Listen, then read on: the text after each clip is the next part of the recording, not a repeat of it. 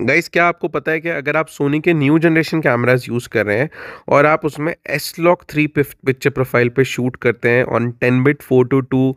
colour sampling तो आप बहुत डीप कलर ग्रेडिंग अपने फुटेजेस में कर सकते हो। यहाँ पे कुछ sample shots you could see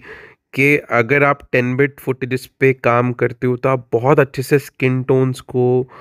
manage कर सकते हो अपने पोस्ट में और कलर्स में बहुत अच्छे से खेल सकते हो over the period of post production तो ये एक बहुत बड़ा एडवांटेज है सोनी कैमरा सीरीज़ का।